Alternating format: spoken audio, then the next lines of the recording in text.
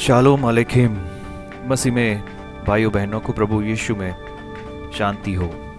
आज का हमारा वचन है, कलोसियो की पत्री, उसका तीसरा भाग और तीसरी आयत। क्योंकि तुम तो मर गए और तुम्हारा जीवन मसीह के साथ परमेश्वर में छिपा हुआ है।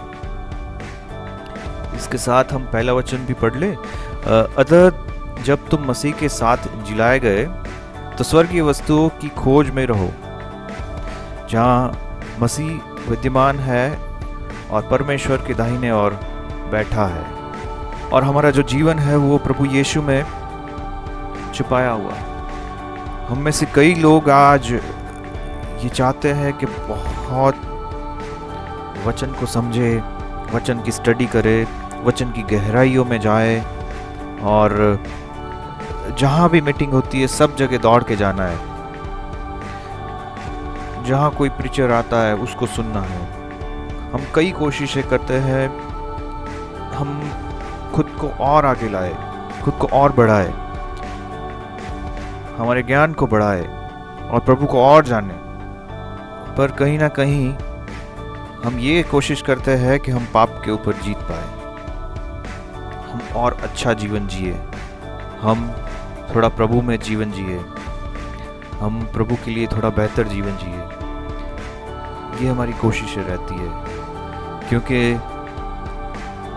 इतना सब कुछ करने के बाद भी और बहुत बाइबल पढ़ने के बाद और प्रभु के वचन को समझने के बाद भी कहीं ना कहीं हम पाप से हार जाते हैं। कहीं ना कहीं बड़ी मुश्किल होती है जीवन में। कहीं ना कहीं लगता है कि शैतान बड़ा हो गया है और हम छोटे हो रहे हैं। बार बार हार जाते हैं। विजयी जीवन नहीं मिल पाता। हार का जीवन जी रहे इसलिए हम अपने आप को शुद्ध करने के लिए और अपने आप को और काबिल बनाने के लिए वचन को पढ़ते हैं, वचन की स्टडी करते हैं। पर प्रभु का वचन यहाँ क्या कहता है? जीवन कहाँ है? जीवन प्रभु यीशु के अंदर छिपाया गया है। ये जितनी भी हम कोशिश करते हैं, वो सारी ही हमारी कोशिश से है। अगर इसमें प्रभु यीशु का साथ मिल जाए, प्रभु अपनी तरफ़ से आपको जीवन दे तो कितना बढ़िया हो जाएगा। वचन कहता है, अपने आप को प्रभु यीशु में छिपा लो। खुद को प्रभु के अंदर छिपा देना है। तो फिर बाहर क्या दिखेगा? केवल प्रभु यीशु दिखेगा। हमारे बाहर केवल प्रभु यीशु दिखेगा, सबको प्रभु यीशु दिखेगा केवल। हम कहीं नहीं दिखेंगे। हमारे स्टडी में, हमारी जॉब में, हमारे बिज़नेस में, हमारे रिलेशनशिप में, हमारी आसपास के लोगों से हम जैसे मिलते हैं, सब में क्या हम अपने आप को दिखाते हैं या प्रभु यीशु को दिखा रहे हैं? क्योंकि प्रभु ने आपको पसंद कर लिया है अपनी महिमा के लिए। तो महिमा हमेशा प्रभु की करनी है। हमारे जीवन से केवल वो ही दिखना चाहिए। प्रभु का दास कहता है, मैं घटता जाऊँ, तुम बढ़ते जाओ। पर यहाँ पे वचन कहता है कि तुम छिप जाओ प्रभु के अंदर। केवल प्रभु दिखना चाहिए, आप बिल्कुल नहीं। तो जो भी कठिनाई होगी, जो भी होगा, वो प्रभु सॉल्व करेंगे। आपको कोई एफर्ट नहीं लगाना पड़ेगा। आप विजय का जीवन जी पाएँगे। मसीह ने विजय का जीवन जिया था। तो आए हम भी विजय का जीवन जी सकते हैं ना? संडे हफ़्ते का पहला दिन होता ही वर्शिप के लिए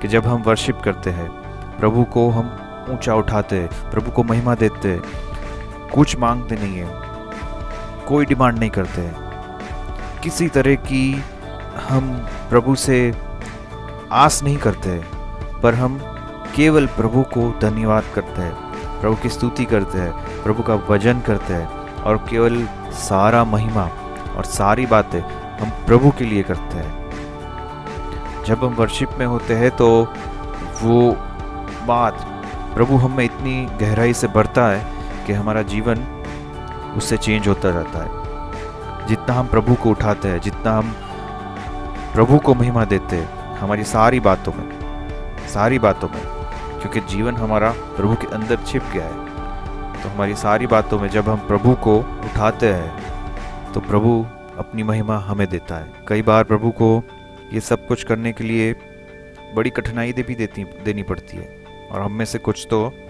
बहुत बहुत मज़बूत है कि टूटना जानते ही नहीं है। कई बार ये होता है कि प्रभु हमें तोड़ता है। तोड़ता है और हमारी सारी चीज़ों में हम फेलियर हो जाते हैं। हमारी फैमिली में हम झगड़े करते रहते हैं। किसी से हमारी अच्छी बनती नहीं है। सारे रिलेशन में बस टूटा फूटा लगता है। जॉब में अच्छा नहीं लगता। पढ़ाई ठीक से हम कर नहीं पाते, अच्छे मार्क्स नहीं ला पाते। फैमिली में क्राइसिस चलते हैं, पैसे नहीं होते। एक मोमेंट ऐसा आता है जब हम, हमें लगता है कि नहीं प्रभु, अब तू एक ही सहारा है। तो प्रभु पहले से वही तो समझा रहा था कि बस मैं एक ही सहारा हूँ। और जब हम अपना सब कुछ उसको सौंप देते हैं, हम कोई अफोर्ड नहीं लगाते, सारे अफोर्ड हम प्रभु को बोलते हैं कि ये जंग तुम्हारी है, प्रभु आप लड़ो। और जब हम प्रभु को उठाते हैं, हम जब सारी महिमा प्रभु को देते हैं, तब हमें वो ऐसे बढ़ता है, ऐसे बढ़ता है कि हमारा जीवन पूरा बदल जाता है। हम प्रभु यीशु जैसे हो जाते हैं, क्योंकि हमारा पूरा जीवन केवल प्रभु यीशु दिखता है, हम नहीं दिखते। प्रभु ने हमें अपने आप में छिपा लिया है। वही हमारा सब कुछ है। हम किसी और पे डिपेंडेंट नहीं है, केवल प्रभु यीशु पे डिपेंडेंट है। जितने भी प्रभु के दास थे, सभी को बहुत परेशानी, बहुत कठिनाई से गुजरना पड़ा। तब वो ये सीक्रेट जान पाए कि प्रभु में हमें अपने आप को छिपा देना है। बाकी सब काम वो खुद ही कर लेता है। हमें नम्र होना है। प्रभु के चरणों में बस गिर जाना है। और अपना सब कुछ, अपना सब कुछ।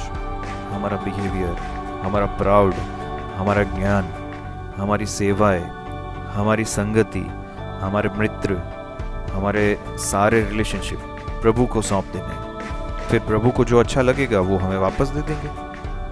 जिससे प्रभु की महिमा हो पाएगी, ऐसा हमारे पास रहेगा, बाकी सब चला जाएगा। जो शैतान जिससे हमें भरमाता रहता है। शैतान जिससे हमें वापस खींच लेता है अपनी तरफ़। ऐसी कई बातें होती है हमारे में कि जो हम समझ नहीं पाते कि ये शैतान इस बात से हमें खींच रहा है। बहुत सारे टेलीविज़न शोज़ होते हैं, बहुत सारी ऐसी बातें होती है कि जो हमारा समय ले लेती है। हमने कई बार ये डिसाइड किया होता है कि हाँ ये दस मिनट हम प्रभु यीशु को ही देंगे। प्रभु के चरणों में बैठेंगे। हम हमारा समय का दसवां भाग प्रभु को हम देंगे। पर नहीं होता है। हमारी कितनी अच्छी अच्छी बातें ऐसी होती है कि जो हमारा समय ले लेती है। उसी में रह जाते हैं। प्रभु साइड हो जाता है और हम ही आगे निकल लेते हैं। आइए प्रार्थना करें। ए हमारे परमेश्वर, हमको सिखा कि हम आप में कैसे छिप जाए। हमें अभी भी अगर कठिनाई है तो हमें तोड़ो और नम्र करके आपकी महिमा से भर दो, जिससे कि हमें हम ना दिखे। पर प्रभु यीशु केवल आप दिखो। प्रभु यीशु के नाम से। आमीन।